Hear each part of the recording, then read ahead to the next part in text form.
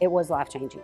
Even when things weren't going right, and even when I don't look like or act like things are going right, I'm happy inside. I've actually seen myself transform.